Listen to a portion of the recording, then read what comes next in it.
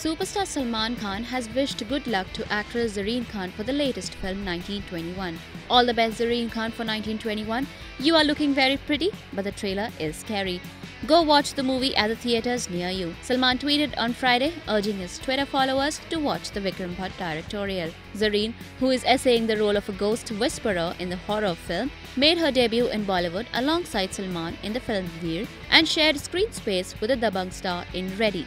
1921, shot in London, revolves around the lead characters played by Zareen and actor Karan Kundra. They deal with their dark pasts and secrets to secure their present and future. It is about a struggle between life and death. The film, which also stars Angelina Krislinzki, released on Friday.